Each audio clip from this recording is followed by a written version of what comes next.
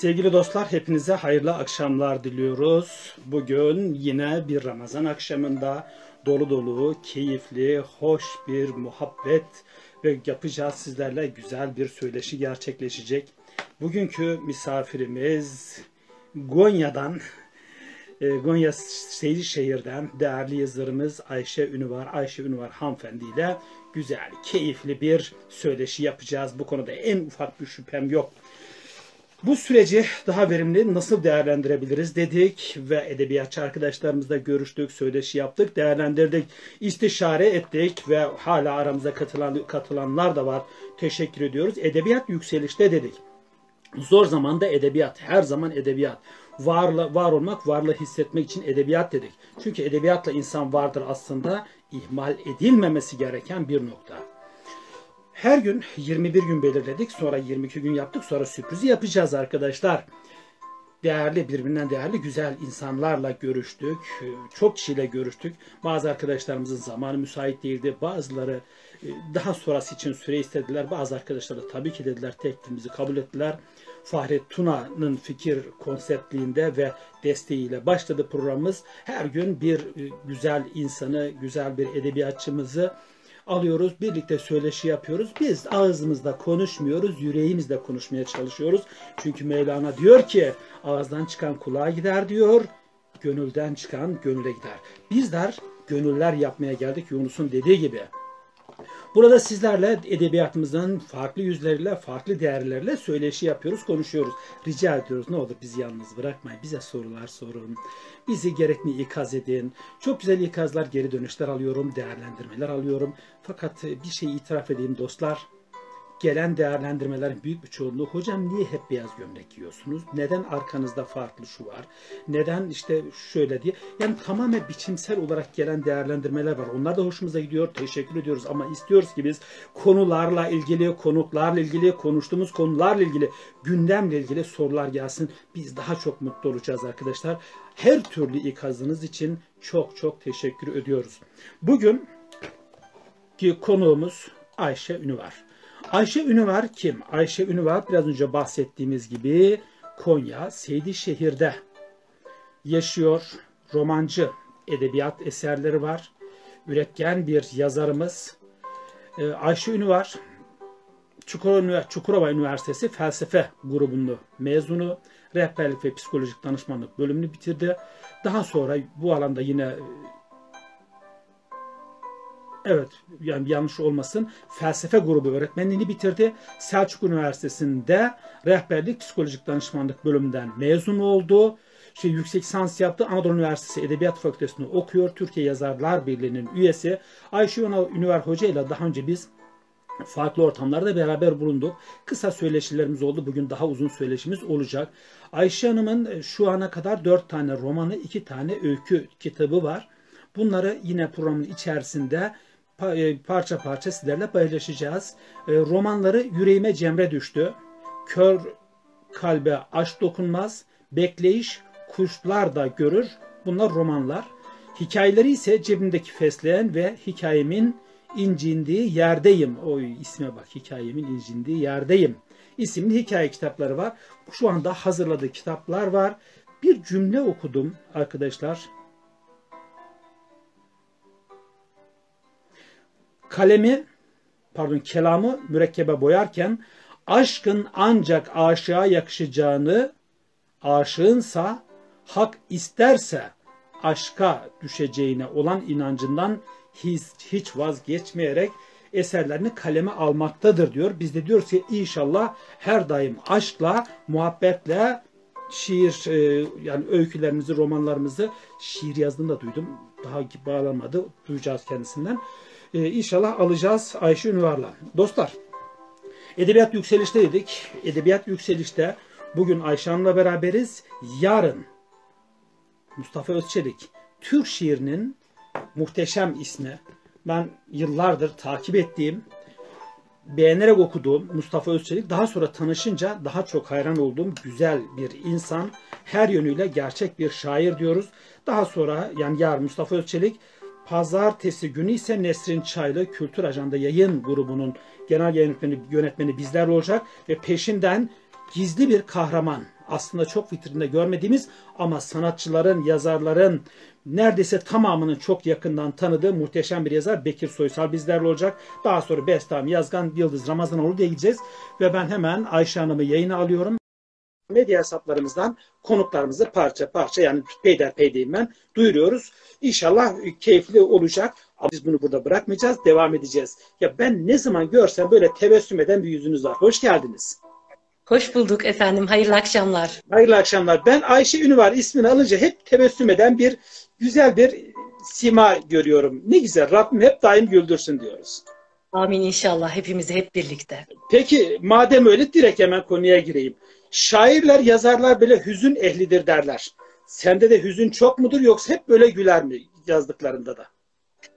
Aslında çok güzel bir soru oldu bu. Ee, sanırım kısa bir cevap vereyim yoksa çok uzatacağım. evet. Gülüşümün altında çok derin bir hüzün var öyle söyleyeyim. Ee, hüzün olmadan e, kalem işlemez diye düşünenlerden biriyim. Of bir daha söyle. O zaman bir daha söyleyeyim. Hüzün olmadan kalem işlemez diye düşünenlerden birisiyim. Ne güzel söyledin. Şimdi e, bizim şair İbrahim Eryet'i bilirsiniz belki. Onun eşi var. Esen onu dinlemek esenliktir. Böyle hoşunuza giden bir söz olunca bir daha, bir daha söyle defalarca söyleti ve gerçekten hüzün olmadan yazılmıyor değil mi? Mümkün değil diye düşünüyorum. İçsel şairin, hüzün, derin hüzün. Şairin ve yazarın birazcık da e, asıl esin kaynağı ya da ilham kaynağı beslendiği yer değil mi? Hüzün. Beslendiği yerdir diye düşünüyorum e, aşağı hüzün yakıştığını düşünüyorum. Of ya hocam ben seninle bugün romanı falan. Ya, geç roman da aç değil mi? Şiir konuşalım diyeceğim. ne güzel, e, harika başladık. Peki şu ana kadar dört tane romanınız, iki romanınız var, iki tane de öykü kitabınız var. Bir de yazmadığın kim bilir neler var neler. Peki üret, üretiyorsunuz, yazıyorsunuz, e, yazmakla yetinmiyorsunuz. Dönem dönem bunları öğretiyorsunuz. Yani eğitimlerinizde, okullarınızda, Evet. Sürekli değişik yerlere gidiyorsunuz. Orada rehberlik yapıyorsunuz, önderlik yapıyorsunuz. E, üretken bir yapınız var. Şunu soracağım. Direkt böyle biraz daha afaki sorular, genel sorularla başlayayım. Nasıl isterseniz. Doğal olun. istediğiniz gibi soru sorun. Öyle yapacağım zaten. Peki Şimdi buyurun. biraz önce biyografi okurken ben Gonyalı dedim. Gonya mı Konya mı? Gonya diyelim biz. Tamam. Öyle demiş adam telefonla açıyor İstanbul'dan. Eskiden telefonlar vardı. Oğlum anlamıyorum diyor. Tek tek söyle hele diyor. Bu diyor İstanbul'un iyisi diyor. Trabzon'un T'si, Gonya'nın G'si diyor. O Gonya bu Gonya değil mi? Evet. Tamam. Peki. Hocam e, siz üretken bir yazarsınız. Çok teşekkür ediyoruz. Sizin gibi güzel bir insanla tanışmak benim için gerçekten mutluluktur, onurdur diyoruz. Şu ana kadar yazdınız, yazıyorsunuz. Bunları konuşacağız. Günümüz Türk edebiyatını genel anlamda nasıl değerlendiriyorsun? Bazıları yerlerde süründüğünü söylüyor. Bazıları çok göklere çıkartıyor. Sizce? günümüz Türk edebiyatı ile ilgili benim aslında yani günümüz Türk edebiyatı olsun, başka konular olsun, olumsuz bir bakış açısına hiç sahip olmadım bugüne kadar. Ben hep pozitif bakmayı seviyorum çünkü pozitif bakmanın e, bedensel olarak e, bir pozitif enerjinin ayrılıp karşıya yürüyeceğini düşünüyorum ve karşıyı olumlayacağını düşünüyorum. Türk edebiyatımızı elbette olgunlaşma sürecinde görüyorum. E, ama birçok yazarın, birçok çizerin katılması, şairin, yazarın, edebiyatçının bana evet. ilham veriyor. Okumayı çok sevdiğim için, okumak benim için çok değerli olduğu için herkes yazsın istiyorum. Elbette belli bir süre sonra zaten okudukça okuma kalitemiz artıyor ve biz seçici olmaya başlıyoruz. O yüzden edebiyat e, elimizden geldiği kadar edebi eserleri çoğaltalım ki zaten seçici oldukça onlar kendilerine gelecekler ve zaten biz seçici oldukça iyi eserler ortaya çıkacak diye düşünüyorum. Ve gidişatı da hiç de olumsuz bulmuyorum. Harika, güzel bir yaklaşım. Bazen şunu görüyorum. Maşallah Türkiye'de diyor okur sayısı kadar yazar var. İnsanlar niye kadar yazıyor? Yazanları eleştiriyorlar. Ben onları şaşırıyorum. Ya bırak yazsın kardeşim. Okuyan, evet. üreten, düşünen, yazan insandan korkulur mu? Asla korkulmaz ve şöyle de düşünüyorum. İnsanlar yazdıkça içlerini dökün, döküyorlar. İçlerini döktükçe psikolojileri daha düzgün oluyor. Ve ülke ruh sağlığı, toplumsal sağlık açısından bu çok güzel yerlere e, geldiğimizi gösteriyor. E, şu bakış açısıyla bakarsak Mesela birçok insan yazıyor, yazanın yanında yazanlar çoğalıyor. Mesela öğrencilerim bazen benden e, işte hocam şu konuda ne yazabiliriz, şu yazdığımızı bir okur musunuz, değerlendirir misiniz gibi cümleler üretiyorlar. Baktığım zaman bizim aramızda farklı bir topluluk, farklı bir gruplaşma oluşuyor. Bu grup gençleri ya da yaşı bizden büyük olanları o kadar olumlu yerlere çekiyor ki birçok zararlı alışkanlığı gençleri birçok zararlı alışkanlıklardan koruduğu gibi bizden yaşı büyük olanlara da işte dedikodu gibi bir nebze yanlışlıklardan koruyor. Biz oturup edebiyat konuşuyoruz. Biz oturup kelime konuşuyoruz. Bugün mesela sabahtan bir üstadın bir kelimenin kökeniyle ilgili bir araştırma yapıyormuş. Biz bugün öğlene kadar o kelimenin kökeniyle ilgili araştırma yaptık. Acaba nereden geldi? Ne denmiş olabilir? İç Anadolu'da böyle bir e, kelimenin kökü nerelere kadar uzanır, nedir ne değildir gibi e, düşündük, sorguladık ve nereye vardık? Sonra hiçbir yere varamadan kapattığımda ben şöyle bir şey geçti içimden. Biz ne güzel şeyler tartışıyoruz ya. Biz oturup dedikodu yapmıyoruz, oturup siyaset yapmıyoruz. Biz oturup çok güzel şeyler yapıyoruz. Ne yapıyoruz? Biz edebiyat yapıyoruz. Biz bir şeyler vermeye çalışıyoruz. Biz bir şeyler almaya çalışıyoruz. Bundan dolayı elimizden geldiği kadar yazılsın, çizilsin. Mesela ben kendi kitaplarımı mı okuyacağım? Zaten e, baskıya girinceye kadar onlarca kere okumuş oluyoruz editörümüzle beraber. Kitap okumayı seven biri olarak insanlar o kadar çok kitap yazsınlar ki benim de kitap hazinemde bir sürü kitap olsun istiyorum. Seçiciliğe gelince edebi seçicilik elbette bu olacak. Öğrencilerime de söylüyorum aynı şeyi. Edebi seçiciliğimiz olacak. Edebi seçicilik için yapabileceğimiz şey çok okumak. Okudukça zaten kelime hazinemiz gelişecek ve dolayısıyla iyi edebi eseri anında anlamaya başlayacağız. O yüzden bence herkes yazsın. Bence herkes kalemin terbiyesini alsın. Harikasın. Diye düşünüyorum. Ee, çok güzel hocam harika. Şimdi buyurun. burada sorular var ama biz de doğaçlama gideceğiz sizlerle. Şimdi siz Tabii, öğretmensiniz, buyurun. eğitimcisiniz. Ben de yıllardır evet. 30 yıllık öğretmenlik yapıyorum resmi milli eğitimdeki öğretmenini diğerlerini saymıyorum. Hı hı. Şimdi öğretmenler odasında şöyle bir durumla karşı karşıya geliyoruz. Evet. Genellikle düşünen, üreten, soran, sorgulayan, araştıran öğretmenlere ya çölme takılır ya birileri engeller yani kısaca bir blokajlarla karşılaşırlar. Sizlerde evet. de oluyor mu? Her zaman olabilen şeyler. Bunlar hani illa milli eğitim camiasında olacak diye baktığımız şeyler demeyelim de buna şöyle diyelim e, insanın olduğu her yerde olumlu da var, olumsuz da var. Biz olumsuz e, gördüğümüz herhangi bir grupta bir davranışa yan çizip selam verip Allah'ın selamı deyip yan çizip geçip gitmemiz lazım. Çünkü bizim yapılacak çok işlerimiz var. Olumsuz herhangi bir e, dedikoduyla, bir olumsuzlukla, bir çelme takmayla uğraşacak vakti yoktur bir edebiyatçının, felsefecinin, hele de bir gönül adamının. Bizim bunlara hiç vaktimiz yok. Bizim daima gülümsemeye ve gülümsetmeye vaktimiz olsun isterim. İnşallah. İnşallah. Böyle Anadolu'da bir laf var ya hayır ağzın bal yesin derler. Ne güzel. Hocam. Amin. İnşallah. Peki e, günümüz romanını nasıl değerlendiriyorsunuz? Ve öykücülüğünü. Günümüz romanını e, nasıl e, değerlendiriyorum? Bir kere bana sorulduğu zaman hani bir yazar aslında yazarım demedim hiçbir zaman. Evet yazarız diye konuşuyoruz. Evet yazarız diyoruz ama her zaman söylüyorum yazmak yaradana mahsustur. Ben karalıyorum diyorum her zaman. Bu karalamalarda e, bu karalamalarda e, romanın e, ön plana çıktığı görüşü hakim benim üzerimde. Öykü biraz arkasında geliyor. Şiirin hiç kenarından geçmiyorum. Öylesine kendim karalıyorum. Ama romanda Türkiye bu işin neresindedir denildiği zaman e, aslında dediğim gibi hani bir takım çevrelerin ön plana çıkması, e, bir takım yazınların ön plana çıkması e, o romanı iyi yapmaz, o sanatı iyi yapmaz. İlla ön plana çıkmak gerekmiyor. Ben her zaman şunu söylüyorum. Gönülle dizilen her kelimenin elbet alımlayıcısı vardır. Çünkü gönlünü açan biri mutlaka o gönülle yazılan kelama ulaşır ve bulur. Hiç o bulamazsa Tanrı onu ona nasip eder. Mesela e, dönem dönem okuma e, düzlemlerim vardır benim. İşte kendime göre şu eserler okunacak, bu eserler okunacak, şu okundu, bu okundu falan. Bir de zaman zaman öylesine elime geçen kitapları okurum.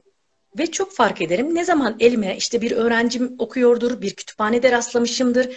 Ne zaman elime fark etmeden geçen bir kitap okumaya başlasam o kitap o zaman o günün psikolojisine çok iyi gelir. O anın ruhsal dengesi için yazılmış bir dua gibidir. O zaman hep şunu söylerim.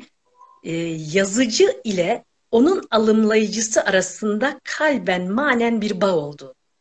O yüzden eserlerimiz e, Türkçenin dışına da çevrilirse ki bu benim hayalimdir. Yayıncım da şu anda burada e, bizi dinliyor. İnşallah onun da e, kulağına yayıncınız, gider bu. Yayıncınız kim? Bırak yayıncıların reklamını yapalım.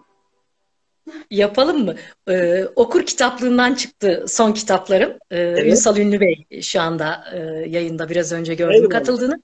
Hoş Ne sefa geldiler. Ee, Evet. Birçok sevdiğim de burada şu anda.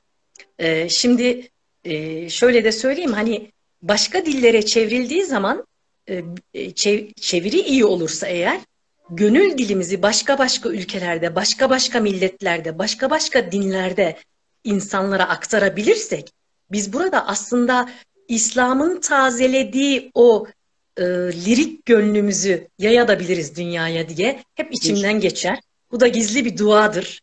E, Ramazan ayına ait bir dua niteliği taşır inşallah. Bu Amin. arada diyelim. Ramazan mübarek olsun diyelim. Amin. Allah razı olsun. Sağ olun. Evet. Peki. Yani ne güzel konuşuyorsun. E, Ben ben konuşmayacağım. Zaten dinleyeceğim. Diyorum ki bu programlara iyi ki başladım. Sağ olsun Fahri Üstadımız. En çok faydalanan da ben oldum. Çünkü sizlerle zaten tanışıyoruz ama farklı bir boyutta. Çünkü şehirler e, uzak gerçi sosyal Kesinlikle. medyadan şuradan buradan görüşürüz ama bir yere kadar en çok da faydalanan ben oldum diyorum. Zaten şöyle söylerler. Bu arada siz e, çayınızı içerken ben derste verdiğim bir örnek var. Diyoruz Siz ki de için lütfen. ben diyor ki eğer diyor bir konuyu hiç bilmiyorsan hiç bilmiyorsan e, otur kitap yaz derler. Eğer Öyle az biliyorsan git öğretmenlik yap. Çok araştırmak lazım tabii ki. İnsan yazarken öğreniyor değil mi? Çok Yazarken öğreniyor. yazarken Peki. öğreniyor. Günümüz romanı hakkında bir günümüz öykücülüğü hakkında ne diyorsun? Aynı cümleler mi? Aslında öykücülüğün kenarından e, nasıl geçeyim bilemiyorum. E, öykü türü Türkiye'de çok ilginç bir yerde öyle söyleyeyim. E, çok güzel öykücülerimiz var. E, bayıldığım e, notlar, kelimeler, kelamlar var. İçinde kaldığım, okuduğum zaman günlerce uyuyamadığım öykülere rastlıyorum bazen. Öykü yazmak dediğim gibi benim hiç hiç e, aklımda olan bir şey değildi. Romanla başladım. Sonra işte dergilerden e, küçük e, pasajlar, işte denemeler, e, hocam niye öykünüzde e, yoktur demelerden sonra ben de öykü kaleme almaya başladım. Sonra fark ettim ki o öyküler birikiyor çünkü birçok dergiden isteniyor. Tabii ki seçerek e, gönderiyoruz. O da e, önemli takdir edersiniz. E, birikince bunları kitaplaştırma kararı aldık. Şu anda iki kitaplık daha öykü şeyimiz var, dosyamız var inşallah. Bir tanesi de yeni bu ay çıktı. Hemen göstermek isterim. Hikayemin incindiği yerdeyim. Yukarı kaldın hocam kameraya harika. Evet. Evet, biraz hafif Bu, aç. e, Tamam. Tabii Şimdi- için hikaye hikayemin incindiği yerdeyim. e, biraz önce bahsettiğim. Ben onları alamadım. Evet. Ama ne güzel bir İnşallah, var. inşallah imzalı göndereceğim. Ee, bu süreçten dolayı hiç doğru dürüst postanenin yoluna düşemiyoruz. Bu hikayemin incindiği yerdeyim adlı son öykü kitabımda e, üzerinde e, bulunan fotoğraflar e, annem, babam ve ablam. E, eski bir fotoğraf bu. E, o yüzden benim için çok manevi değeri var e, bu öykü kitabının. E, öyle. Neyse. Yani benim- yarın, yarın anneler günü şimdi. Hikayenin Başka. indirdiği yerdesin hocam. Doğru. Evet, Doğru. Evet. Ee, Adı çok güzel dediniz ya. Girmek istedim o konuya. Adı çok güzel bir kitap. Kimsenin hikayesi incinmesin duasıyla bugün devam edelim. İnşallah. İnşallah. Ne güzel ya. Ne güzel hocam. Şimdi bu e, şimdi hikaye romanla başladım dedin sonra hikaye geçtin. Ya hikaye mi diyorsunuz öyküm? Bir de dün de sordum ben bunu size sorayım. Aslında e, sevgili Mustafa Özçelik üstadı, üstadımla böyle e, bu konuda bazı sohbetlerimiz olur. Bizi izliyor şu anda. Evet, evet. Hoş sefa geldiniz üstadım. Hepinize selam olsun. Ee, söylemek istediğim şey şu. Aslında illa Türkçe konuşacaksak hikaye dememiz gerekiyor. Ondan dolayı hikayemin incindiği yerdeyim gibi bir ismi e, ilgi çeksin anlamında değil, öyküden daha çok hikayeye işaret etmek babında koyduk. Ee, üstada da bu konuda e, şeylerim oldu, düşüncelerim. Ee, evet, konuşurken öykü diyoruz. Ee, daha modern geldiğini düşünen, söyleyen öykücü arkadaşlar var ki ben böyle bulmuyorum. Ee, eskiden itibaren e, hikaye, çocukluktan, e, ilkokul öğretmenim bana okuttuğundan bana sana bir öykü vereyim Ayşeciğim bunu oku demezdi. Her zaman söylediği şey Ayşeciğim hikaye kitabını bitirdiysen sana yeni bir hikaye kitabı vereyim derdi ve ben hep hikaye okurdum. Onu hatırladım. Ee, hikaye mi roman mı olayına gelince hiç edebi türleri birbirinden ayırmıyorum. Gönülden ne akarsa kelama dökülsün. Of, ne güzel ya. Peki klasik roman, klasik e, hikaye, işte e, fantazi, kurgu, psikolojik roman ya da hikayeler gibi ayrımlar yapılmaya başlandı. Siz kendinizi hangi noktada görüyorsunuz? Aslında yazarken işte X e, türünde, Y türünde, Z türünde yazıyorum ya da yazayım diye başlamıyorum kitaba. Ama e, kitap çıktıktan sonra işte gelen eleştirilerde e, ya da bana e, geri bildirimlerde şunlara rastlıyorum. E, daha çok psikolojik tahlilleri e, yapıldığı romanlar. Tabii mesleğimden dolayı bir felsefe öğretmeniyim, uzman psikolojik danışmanım. Muhtemelen onunla alakalı. E, ya da işte sosyal roman, psikolojik tahlil, e, efendim köy romanı e, olarak nitelendirilen romanlar. E, dediğim gibi ben başlarken hiç işte X romanı, Y romanı, Z romanı olsun ya da X türünde bir öykü olsun gibi başlamadım. E, kitaplarımı yazarken işte deneme türü olsun, hikaye olsun, e, roman olsun hiç fark etmez. Bir şiir karalaması olsun. E, içimden gelmesi en önemli kıstas benim için. İçimden gelmesi, doğal olması. E, mesela yapay, bilmediğim herhangi bir ortamı yazmaya çalışmak. E, bu bana çok da güzel gelmiyor açıkçası. E, mesela köyle ilgili bir roman yazacaksam e, o köyde yatmışlığım olur benim. Giderim haftalarca kalırım, geleneği göreneği öğrenirim, erkek kahvesinde otururum, işte kadınlarla yün yıkamaya inerim, akarsuların önünde buluşurum.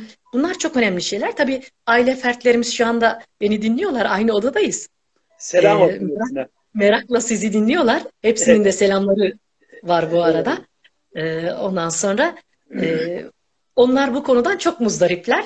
E, çünkü ben diyorlar ki postu bir atıyorsun, e, orayı öğrenmek zorunda kalıyorsun. Değişleri bilebilmemiz için oranın içinde yaşamak gerektiğine inanıyorum.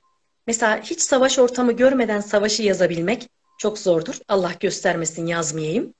Ama dediğim gibi e, gördüğümüz, bildiğimiz, içinde yaşadığımız şeyleri üste çıkmadan, üstten bakmadan, içinden bakarak yazdığımız zaman e, okuyucuya geçiyor. Daha doğrusu ben bunun çok sonra farkına vardım.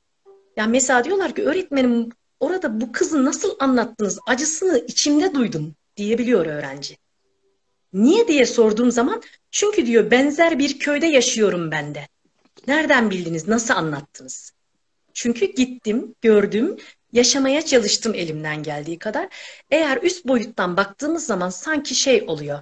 İşte e, biraz e, romanda sosyetemsi kaçamak. Öyle mi diyeyim? Bunu nasıl e, kavramlaştıracağımı bilemedim. Hani üstten bakma, içine inememe, içine girememe. E, akıp giden bir derenin içine girmeden o suyun güzelliğini tadamayız diye düşünüyorum. O yüzden ayaklarımızı, paçalarımızı sıvayacağız, ayaklarımızla suya gireceğiz. Yazmak budur diye düşünüyorum. En güzel o. Olması gereken de zaten bu. Çok da güzel e, şeyler. Bu arada sorular da geliyor. Roman sizin için nedir Ayşe hocam demiş Emine Dede. Gerçi cevaplar evet. geldi ama bir de roman sizin evet. için nedir diyor. Emine Hanım merhabalar.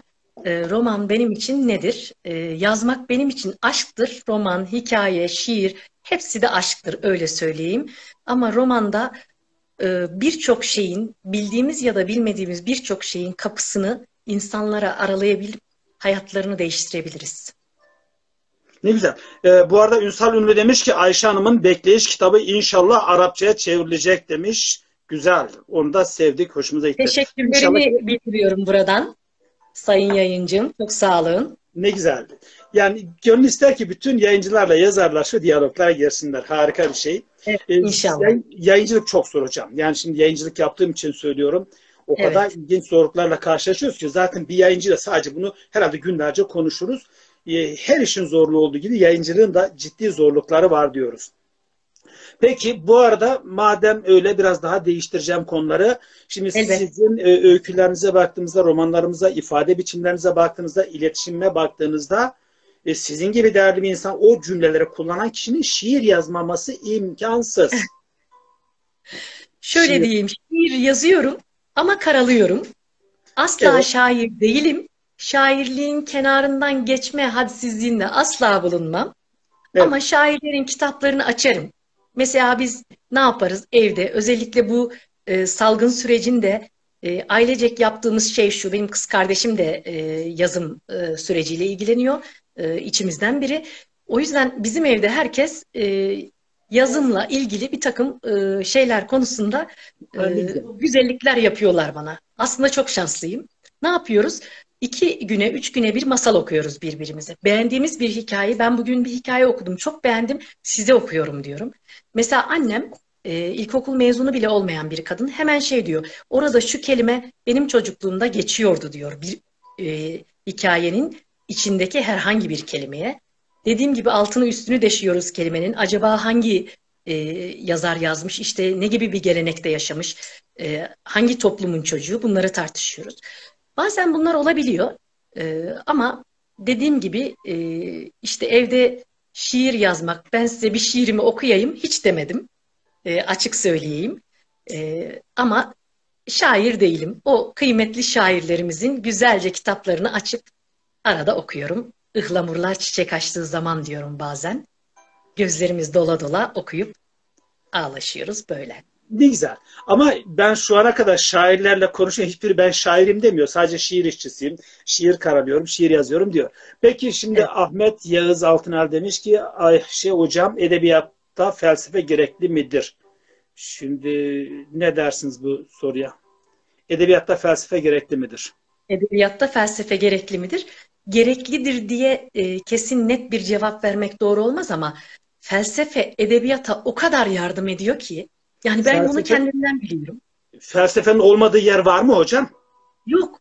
Çocuklara anlatırken de mesela dün canlı, canlı dersim vardı. Çocuklar dedim her şey felsefe. Her şey felsefe.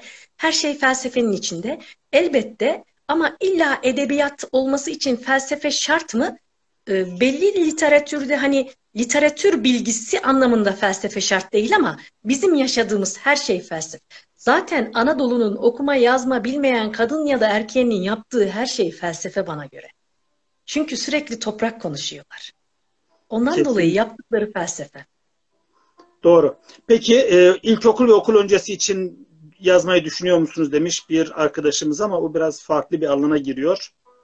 He, çocuk ıı, alanını hiç düşünmedim. Çünkü e, şeye çok ıı, önemsiyorum. Hani e, evet kalem gönülden geldiği gibi yazmalı ama derin olmalı ve alt eğitiminin gerektiğini düşünüyorum. E, ben mesela romanlarımı kendi öğrencilerimin düzeyi ve yetişkin düzeyine yazıyorum ya da hikayelerimi.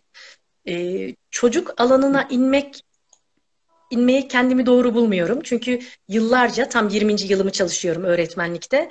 E, yıllarca lisede çalışmış bir öğretmen olarak e, çocukların seviyesine inebileceğimi pedagojik anlamda düşünmüyorum.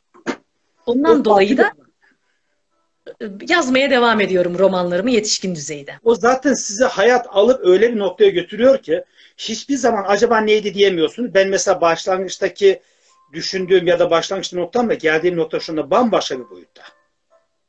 Yani Hiç Evet. aklımda olmayan boyutlara geldim. Peki, Hı Malatya'da anlatmıştınız onu. Evet biraz önce şöyle bir şey dediniz. Ben bir sorum vardı ama dedim ki e, işte araştırma yapıyor musunuz yoksa doğrudan gözlemle mi, yap, mi yazıyorsunuz dedim ama siz araştırma yapıyorsunuz. Bazen sırf e, yani araştırma ve gözlem yazmamın eksenine oturuyor mu diyorsunuz daha ziyade? Yani bir şey Evet. yazarken anladınız mı? Bir şey yazarken araştırma ve gözlem o eksene oturuyor mu? Evet. Soruyu duyabildim değil mi? Tamam. Ee, araştırma ve gözlem benim için çok önemli. Dediğim gibi içinde yaşamak, araştırmak, Ee, belki insanlar mesela okur yani roman okumanın kaygısını ve terbiyesini bu bu cümleyi kuruyorum ama ne kadar doğru bilmiyorum. Roman Çok okumanın, doğru. Çok doğru. hikaye okumanın bir terbiyesi var, şiir okumanın bir terbiyesi var, gönlün bir terbiyesi var, kalemin bir terbiyesi var. Ben orada şuna inanıyorum.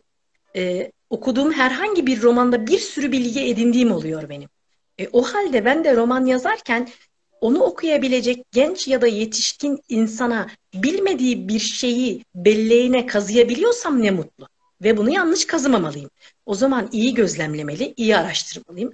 Örneğin Seyit Harun Veli Hazretleri ile ilgili bir kitabım var benim. Kör Kalbe Aşk Dokunmaz ikinci romanımdı. Seydişehir'in kurucusudur Seyit Harun Veli Hazretleri. Anmak nasip oldu bugün de çok mutlu oldum. Elhamdülillah. Ee, şu çok ilginçti. O kadar çok içine dalıp e, anlamaya çalıştım ki. Çünkü en ufak bir kelimeyi yanlış yazmak, bir cümleyi bir bakış açısında bir olumsuzluğa sebep olmak o zatı muhtereme gönül olarak zarar vermek anlamı taşıyor benim indimde. Ondan dolayı diyorum ki çok iyi araştırmaları araştırmak gerekiyor. Özellikle tarihi bilgi verirken çok çok destekli araştırmalara ihtiyacımız var diye düşünüyorum. Peki asıl soru ne güzel yerine geliyor. Yazarken şablonlarınız var mı? Yazarken şablonlarım var mı? Hep söylüyorum bunu bilmiyorum. Üstatlar bu konuya ne derler yanlış mı cevaplamış olurum ama hep yazarken kafamdaki şey şu. Ben olmalıyım. Kimseye benzememeliyim. Bu benim kalemim olmalı. Mesela e, kız kardeşim genellikle okur kitaplarımı. İlk okuma ondan geçer mutlaka. E, kıyasıya eleştirir. Hiç acıması yoktur. İyi bir editördür bu konuda. Ama kimseye editörlük yapmaz benim dışımda. Ve dediği şey şu. Şu olmamış bu olmamış o. Sürekli tartışmamız şudur. Hayır orası benim istediğim gibi olacak. Çünkü bunu ben böyle istiyorum. Çünkü ben bunu böyle hissettim yazdım. Ve e, ne zaman tartışma gelse de işte e, bu hikayede bu şu sözcük olmamış dese ben onu TDK'ya göndermişimdir. Öykü olarak mutlaka yayımlanmıştır. E, Allah razı olsunlar. Çok güzel bir e, tutumları var. E, geleneksel olarak yer verdiğimiz kelimelere çok önem gösteriyorlar ve geleneksel kelimeleri biriktirmek boyutunda hoş görüyorlar bizleri. Sağ olsunlar. Ne güzel. Aslında çok iyi bir şey yapıyorsunuz. Gerçekten Evet. takdire şayan bir nokta. Peki roman ve öyküyü bazen birbirine karıştırdığınız oluyor mu? Roman diye başladığınızdan öykü, öykü diye başladığınızdan roman gibi bir şeye yöneliyor musunuz? Hiç olmadı bu. Ee, bir kere roman çok ağır bir süreç işliyor.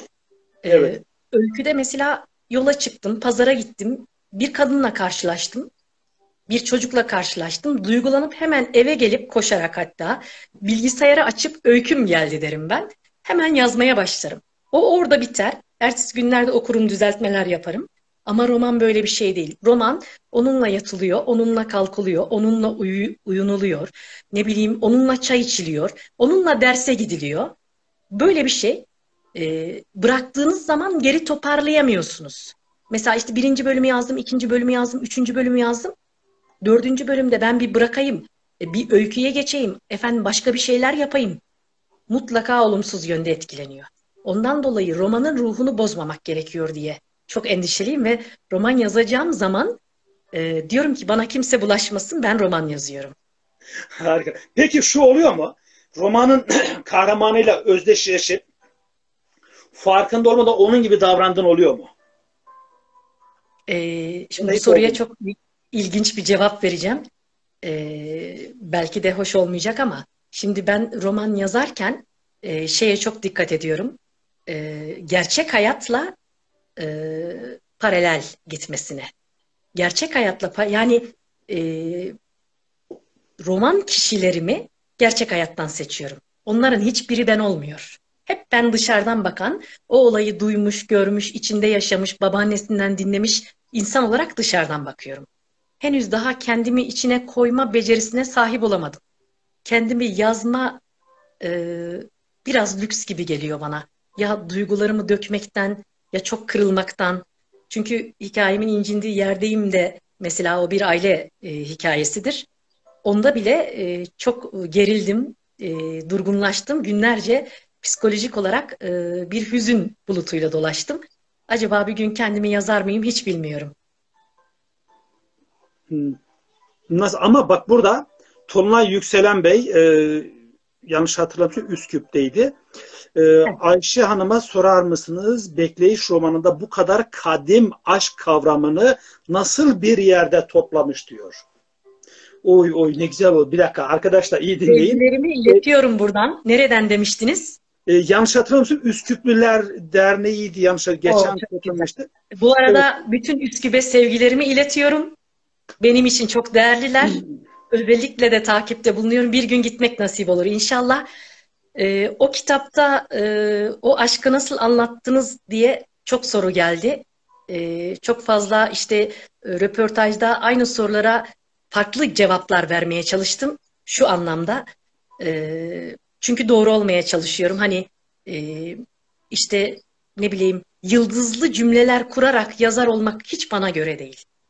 O kitapta yaşanan aşk hikayesi olduğu gibi gerçek. Ben e, isimlere isimleri, farklı şeyleri değiştirerek bir yere koydum ve o kızın hikayesini yaşatmak istedim. Zaten benim roman yazarken en büyük idealim bu. Acı çekmiş kişilerin acısı kitapların arasında yaşansın ve bir dua alsınlar. Yaşasın. Erken ölenler yaşasın. O kız da öyle. İnşallah. Üsküp'e sevgiler. Evet, e, şimdi e, Tolunay Yükselen Bey, şimdi ben tekrar buradan yanlış pot kırmamak için bakıyorum. Evet, o da aleyküm selam demiş. Üsküplüler Derneği'ydi yanlış hatırlamıyorsam. Çünkü geçen gün Leyla Şerif Emin'le e, konuşurken karşılaştık. Orada da bir sürü dostumuz oldu. Mesela bunlardan biri Tolunay Bey. Ne güzel. Aleyküm Evet. onlar da mutlu Yani. olmuşlar. Gayet güzel. Ama soru çok güzeldi. Bu kadar aşkı doldurdunuz. E, Şimdi o soruyu bir daha bulabilirsem tekrar okumak istiyorum. Bu arada da o kitabınız için ne kadar güzel bir değerlendirme olmuş. Evet, Ee, sağ olsun. Bekleyiş romanında bu kadar kadim aşk kavramını nasıl bir yere topladınız? Yani Bekleyiş romanını okumak caiz oldu bu durumda. Evet. Öyle diyoruz. İnşallah. Teşekkür ediyoruz Tolunay Bey. Ne güzel oldu. Ee, bu sayede güzel. Bey. Peki öykü ya da roman dilinde özellikle takip ettiğiniz bir kalıp var mı? Cevaplar geldi ama isterseniz hazırlandığı için sorular geldiği için soruyorum. Tamam. Ee, öykü ve roman dilinde Bir, Bir kalıp, kalıp? var mı? Evet kullandığınız bir kalıp var mı? e, yazma anlamında Yazma mı? Evet yazma. Dediğim gibi biraz önceki aynı cevabı vereceğim. Verdi. Ee, cevap aynen şöyle olsun. Ben olarak yazmaya çalışıyorum. Ayşe'nin kalemi olarak yazmaya çalışıyorum. Ee, ve gönlümün dokunmadığı, gönlüme ters düşen her şeyi çıkarıyorum. Harika. Kalıp bu benim. Ne güzel. Art, e, Arthur Schopenhauer diyor ki iki tür yazar vardır diyor. Biri meselesinden bir derdinden dolayı ötürü yazanlar vardır. Evet. Diğerleri ise kendinden dolayı yazanlar vardır. Şimdi Ayşe Ünü var. Hangisi? Yani bir meselesinden ötürü yazan mı? Kendinden ötürü yazan mı? Meselemiz yoksa zaten nasıl insan denilecek bize? Bir meselemiz olmalı bence.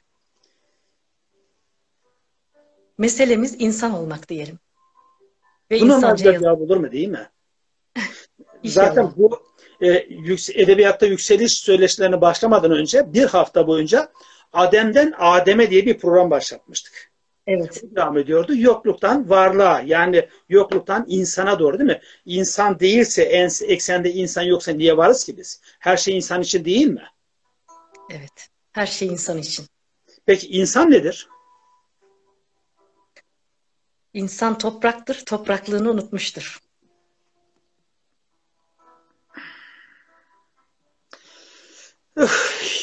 Ya çok güzel hocam ya. Peki Gak ve Guk, Gak ve Guk yazarken tıkandığınız anlar oluyor mu? Oluyor. Bazen kalem duruyor Hı. ve diyorum ki anneciğim benim kalem durdu bana bir dua eder misin? Kalemim tıkandı diyorum. O zaman kendi kendime ederim tabii diyor ama ben kendi kendime şöyle bir şey söylüyorum. Ya yanlış bir yere bastın, ya birinin bilmeden hakkını yedin, ya trafikte yanlış bir şey yaptın. Hakka girdin ki sana verilen en büyük hak yavaşça kenara çekildi. O yüzden git, alamadığın gönülleri al ki kalemin geri gelsin diyorum.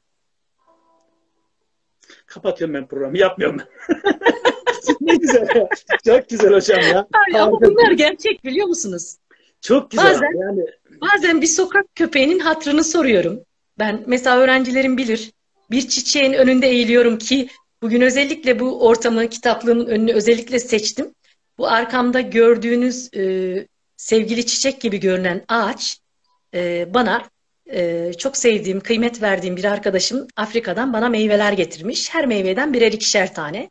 Biz bunları güzelce e, yemeye çalıştık. İşte nasıl kesiliyor, nasıl yeniliyor falan. Çıkan bütün çekirdekleri saksılara dikip isimlerini yazdık.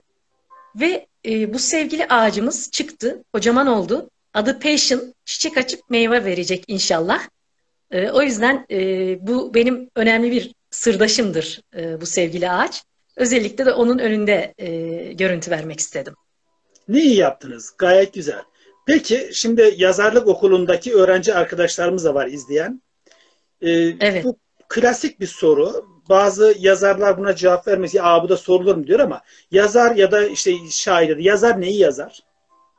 Yazar ne yazar, Yazar neyi neyi? yazar? Bir. Bir. İkincisi yazar yazsa ne yazar yazmasa ne yazar? Heh, öncelikle şöyle diyeyim. Her soru kıymetlidir. Bu çok önemli. Çünkü biz de sorularla bu noktaya geldik ve gelmeye devam ediyoruz. Bir üstümüze, üstadımıza soruyoruz. O yüzden o gençlere buradan çok büyük sevgiler, kucaklıyorum onları kalbimle. Ee, yazar ne yazar? Ee, yazar ne yazar? Ne diyelim? Yazar yüreğindekini yazar, yüreğine dokunanı yazar. Yani bu benim için geçerli. Ama başka yazar ne yazar bilmem. Diğer soru neydi? Yazsa ne yazar yazmasa ne yazar cevap geldi. Yazsa ne yazar, yazmasa ne yazar. Dinleyen Cevap bir hiçbir şey değişmez. Peki. Gereksiz kitap var mıdır? Ee, aslında vardır. Bazen söyleniriz. Bu nasıl kitap? Bu böyle kitap mı olur filan. Sonra ben kendi kendime derim ki her kitabın doldurduğu bir yer vardır. Her kitabın e, ne bileyim teselli ettiği birileri vardır. Mesela birimiz açarız derin bir felsefe kitabını. Mesela dün akşam işte Heidegger'den bir takım şeylere baktım felsefeden. Sonra işte çocuklara onlardan örnek vereyim. Hocam bu çok derin falan dediler. Evet haklısınız dedim. Sonra dedim ki çocuklar Heidegger'i en deriniyle bilmek zorunda değiller ki. Değiller. E, o zaman şu var. Her insanın kalbine göre, eğitim seviyesine göre, anlayışına göre bazen bir yazının bizi güldürdüğü, gülümsettiği, hoşuna gittiği zamanlar oluyor. O yüzden gereksiz kitap yoktur. Sadece şu anlamda kitapları eleştiririm. Satma kaygısı ile yapılan ahlaki boyutu düşük kitaplara karşı çıkıyorum. Özellikle bir eğitimci olarak. Hani sadece satma niyetiyle yazılan ve ahlaki, pedagojik boyutu düşük kitaplar. Bunlara çok karşı çıkıyorum. Ee, Bir de e, öylesine e, işte kitap olsun ki gerçekten bir yazar, gerçekten bir kalp ehli asla bunu yapmaz. Ha biz okuruz, beğenmeyiz. O yazar e, benim işte düşünceme göre değil, duyguma göre değil diyebiliriz. Ama o kelam yine de kıymetlidir. Yani bana göre her kalem kıymetlidir. Çünkü kalemi tutan insan Allah tarafından yaratıldı. Kıymetsiz olsa yaratılmazdı diye düşünüyorum. Bir daha söyle. Ya hocam ne güzel. Çok, Söylemiyorum. çok güzel. Peki burada şu soru gelecekti. Gereksiz olan kitaplar yakılmalı mı? Asla. Bir kitap, hangi kitap olursa olsun bence kitap asla yakılmamalı. Yakılan yani e, mesela işte eski dönemlerde o felsefe kütüphanelerin falan yakıldığı dönemleri anlatıyorum. İşte İskenderiye'de eski en eski dönemlerde İspanya'da çocuklar çok şaşırıyorlar kitap nasıl yakılırmış o dönemlerde falan. Diyorum ki aynı şey günümüzde de o kadar fazla kitap var ki çay bardağının altına konulan kitaplar gördüğüm gibi bir e, çay ocağına gitmiştik öğrencilerimle. Dediler ki biz çay ocağını kapatıyoruz. Belki şu anda beni e, izliyorlardır bilemiyorum girdiler mi? E, bir sürü kitap var hocam dediler. E dedim onları okul kütüphanenize götürün. Okul kütüphaneme arabamla üç kere dönerek getirebildim kitapları. Ve o kadar kıymetlidir ki kütüphaneye yerleştirdim onları. Sonra kendi kendime şey dedim. Hiçbir kitap kıymetsiz değildir. Asla yakılmaz. Şimdi yine bir öğrencimiz sormuş. Şiir yazan şiir yazan bir öykü yazarken de şiir gibi yazıyorsa o doğrultuda ne yapmalı? Bunu nasıl düzeltebilir? Şimdi soruyu baştan okuyorum. Şiir yazan bir öykü yazarken okuyabiliyor musunuz siz de? yazarken de şiir gibi yazıyorsa bu doğrultuda ne yapmalı? Bunu nasıl düzeltebilir? Çünkü öykü yazarken şiirdeki kapalı anlatımı kullanarak bunu yapıyor ve öykü anlaşılmaz oluyor. He. Ee, şöyle de olabilir. Aslında yine e, kendi gibi yazmayı. Belki o yeni bir tutum, belki o yeni bir anlayış. Kendini bozmadan devam etmeli bence. Şiirle öykü birbirlerinden evet ayrılırlar ama ne kadar net sınırlarla ayrılırlar. Onu da bilmek lazım. Bazen yazdığım öyküler çok şiirsel ya da romanlar çok şiirsel deniliyor bana. Evet şiir değil ama şiirsel. Zaten insan kendisi şiir bana göre. O zaman çok da ayırt etmeden bir kere yazmaktan hiç vazgeçmemeli o sevgili öğrencimiz buradan soru soran. Asla vazgeçmemeli. E, çünkü yazmak bazen insanın e, iç duygularına müdahale edilmesi gibi, fark edilmesi gibi olumsuz anlamda bir şey çağrıştırıyor psikolojik olarak. Bence bunu yapmamalıyız. E, herkes dediğim gibi herkesin bir yazı stili var, herkesin bir okuyucusu, beğenicisi var. Bir kere hiç kimse okumasa bile biz içimizi döküyoruz, dua yerine geçiyor. Ve psikolojimiz düzgün oluyor ve toplumsal olarak ruh sağlığı düzgün topluma fayda sağlamış oluyoruz. Şimdi bu öğrencimiz daha önce bir sorusunda şöyle söylemişti bana. Hocam dedi ben dedim yazıyorum ama dedi kendimi nerede olduğumu anlayamadım. Yani hikaye mi yazıyorum, şiir mi yazıyorum, roman gibi mi yazıyorum, deneme mi yazıyorum? Ne yapmam lazım? Beni kendi bir kalıba sokmam gerekiyor mu? Rastgele mi yazmam lazım? Yani bir şeyler yazıyor ama kendisini bir yere oturtamadığını söylüyor. Bir kere kalıba önerirsiniz? girmek istiyor mu? O çok önemli. Yani kendini bir kalıpta olmayıp da kalıba girmeye çalışırsa hata yapar. Harika, çok güzel. Ne olacak? Yani zaten ona verilmiş olan bir yeti vardır. O yetiyi keşfedinceye kadar uğraşacak ve onun üzerindeki tozu alacak. Yazacak, Bu çok- yazacak, yazacak değil mi? Yazacak, okuyacak, yazacak. Peki bazen zorunlu ve sırf ödev olarak yazdığınız oldu mu? Benim mi? Evet. Zorunlu. Zorunluluktan dolayı ve ödev gibi yazdığınız oldu mu? Bir görev verildi. O görevi yerine getirmek için. Benim oldu mesela. Çok oldu. Asla olmadı. Olunca da karşı çıkıyorum. Bazen karşımdaki insanları kırabiliyorum. Ee, diyorum ki ben bu konu üzerine yazamam, affedin beni. Ama Diyorum. tabii Çünkü- sizin şu var. Ee, öykü ve hikaye noktasında. Gerçi ben deneme yazıları olduğu için biraz da ondan da olabilir. Yani şiirde yapamıyorum. Şiirde bir iki bir defa Hı hı. oldu. İlkokul öğrencilerine yönelik bir şiirdi. Ya ben ne anlarım dedim ya. Anlamam. Hı hı. Yok dedi yazarsın. Oturdum. Tamamen mantık kullanarak yazdım. Ama bazen öyküde de zorunluluktan ya da bir ödev gibi yazabiliyorsunuz. Diyorsunuz ki ben bir konu anlatmak istiyorum. Diyorum ki ben size Ayşe Hanım e, doğayla ilgili, doğadaki işte doğa sevgisi en basit tanımıyla bir öykü yazılması lazım Hı hı. desem yazamaz mısınız?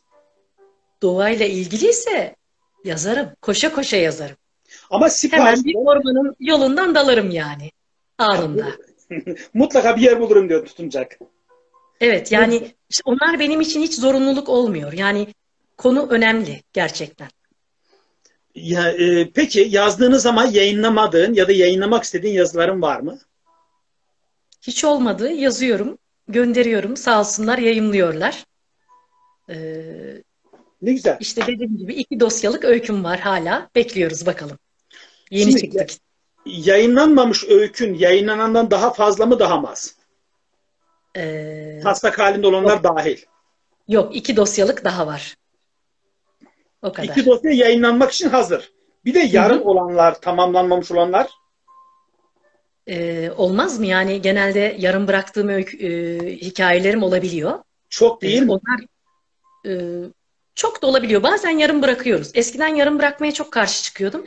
Şimdi Evet. o duygu boyutu devam etmiyorsa yarım bırakıyorum, bekliyor orada. Demek ki tamamlanması gereken bir şey söz konusu. Bunu özellikle söylüyorum ben. Özellikle soruyorum. Çünkü yazarlık okulundaki ya da genç yazar arkadaşlar bunu çok soruyor. Hocam yarım kaldı ne yapacağım? Ya bırak kalsın arkadaşım. Yaz bırak. Şiirdir, romandır, hikayedir. Bırak yarım yarım kalsın. Onlar bir yerde tamamlanacak. Hocam bu maymun iştahlılık mıdır diyorlar. Peki? Evet, değildir. E, değildir. Mesela e, Hasan Ali Toptaş'ın son kitabı e, daha önce e, bir hikaye olarak yazılmış ve diyor ki uzun süre içimde tutmuştum onu. Uzun süre durdu bir yerlerde saklı. Sonra yıllar sonra ben onu roman haline getirdim diyor en son kitabı. Ben buna çok şaşırmıştım mesela. Evet. Yani uzun süre beklemiş. Çok büyük. Hepsinde olur. Bu gayet doğaldır hocam. Şimdi bir soru Evet. daha. Popüler olmak yazarı modernizmin eşiğine iter mi? Popüler olmak yazarı modernizmin eşiğine iter mi? Kapitalizm tüketici kölelik toplum açısından yazara nasıl bir vizyon yükler? Soruyu kim sormuş? Çok merak ettim. Harika bir soru. Teşekkür Gö- ediyorum. gö- gök mahlaslı bir arkadaşımız. Çok çok sağ olsun. Ee, hoş gelmişler. Ee, yazarı modern bir şeye iter mi? Ee, yani modernite, popüler olmak. Bu yine insanın kendine saygısı ve kişiliğiyle alakalı. Bir kere e, kalbi duruşunda, insan olgunluğunda e, bir eksikliği var ise, e, kendini tamamlayamıyor ise, elbette bir çıta yükseldiğinde babamın cümlesiyle neydim delisine dönecek. Bu yazar için de geçerli, şair için de geçerli, mühendis için de geçerli, öğretmen için. Yani bunu illa kalem ehline yüklemeyelim.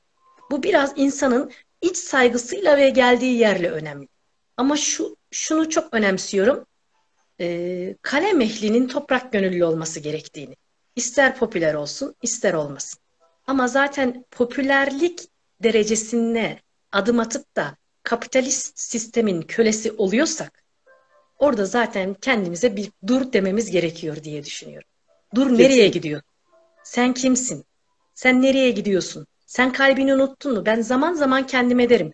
Kalbim nereye gitti? Allah'ım kalbimi geri verir misin lütfen? Bunu öğrencilerime anlattığım zaman çok gülümserler. Öğretmenim kalbiniz nereye gidecek? Çocuklar bazen kalp sizden kaçıyor. Niye kaçıyor? Çünkü biz hata yapıyoruz bazen. Ya da işte popüler şeylere yaklaşabiliyoruz. Popüler olmak herkesin hayali midir? Değildir. Çok okunan bir yazar olmak isterim. Hayır, çok anlaşılan bir yazar olmak isterim.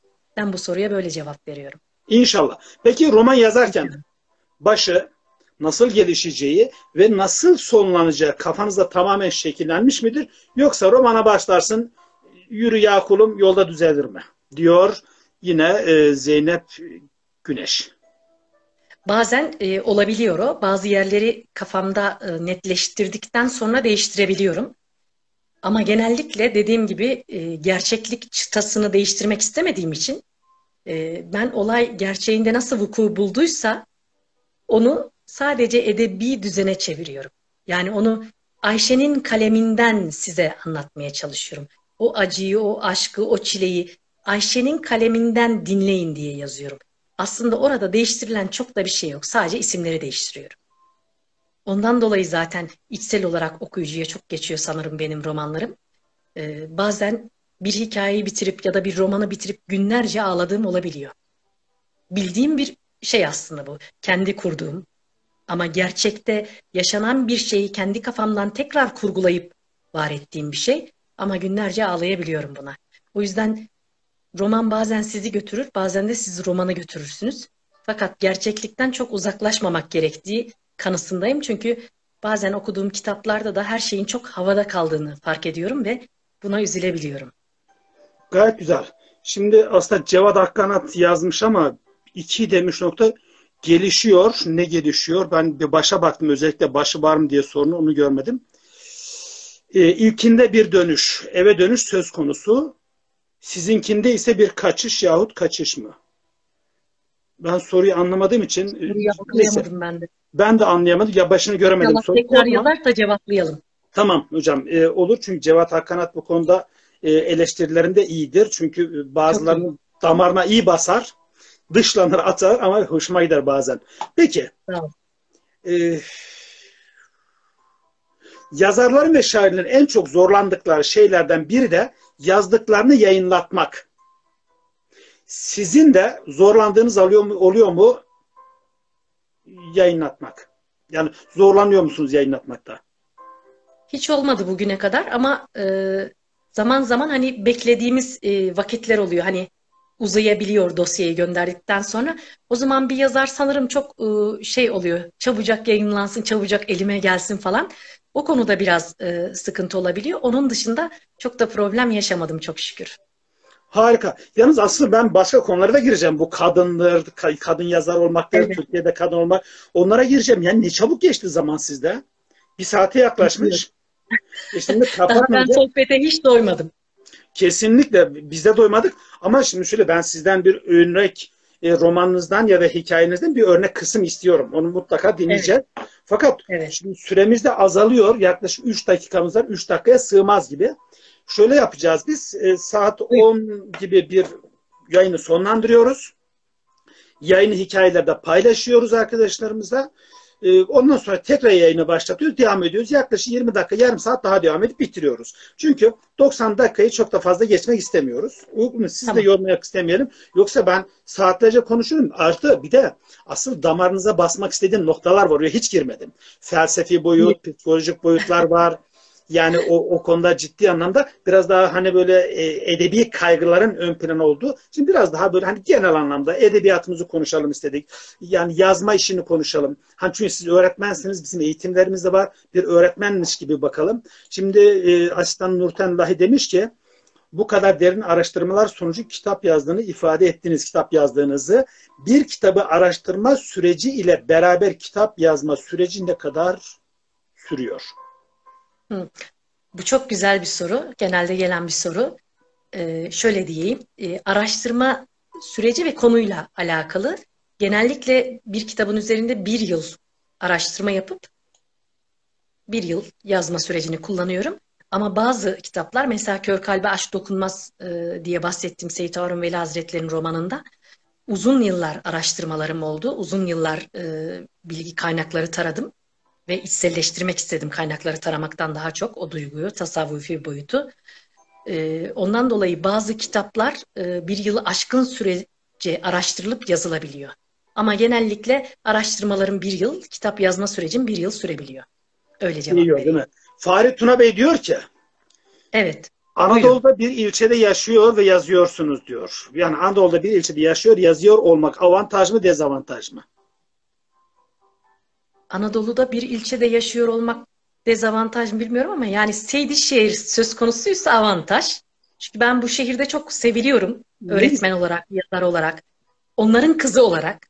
Ee, ve bu topraklar Seyit Harun Veli Hazretlerinin mayaladığı topraklar olduğu için bereketli. Ondan dolayı ben avantajlı diye düşünüyorum. Sadece sizlere, üstadlara uzaktık. Onu da bu şekilde işte e, uzaktan birbirimizi görebiliyoruz. Programlarda bir araya gelebiliyoruz.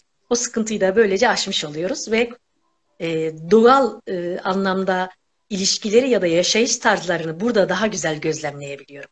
Mesela yaklaşık yarım saatte bir köye gidebiliyorum. İşte 20 dakikada e, diyelim ki göçebe yörüklerin geldiği bir e, ovaya çıkabiliyorum ve onların hallerini hatırlarını sorup geleneklerini öğrenebiliyorum. Böyle bir şansım var. Tamam. Bu arada şimdi soru geldi. Ayşe Hanım diyor bu Cevat Akkanat. Merhaba. Evet. Hasan Ali Toptaş'ın Kuşlar Yasına Gider romanıyla sizin Kuşlarda Düş Görür romanınız arasında ortak bir nokta var. İkisi de bir yol hikayesi macerası şeklinde gelişiyor. Fakat ilkinde bir dönüş, eve dönüş söz konusu, sizinkinde ise bir kaçış yahut bir kaçış mı diyor. Şimdi durdum noktayı koydum. Süremiz doluyor. Bitireceğim. Ve sizde bir iki dakika ya da üç dakika size dinleme molası vereceğim. Ben yayını hemen başlatacağım. E, bu Peki. arada yine sizden öykü ya da roman alacağım. Başka böyle yani esnaftan sorular geliyor. Cevabımı sonra vereceğim değil mi Cevat Evet. Bey'e? Şimdi bitireceğim. Biraz tamam. sonra alacağım. Peki görüşmek üzere dostlar. Lütfen hemen birazdan Allah'a emanet olun. Çok teşekkür ederim. Tamam devam edelim tekrar.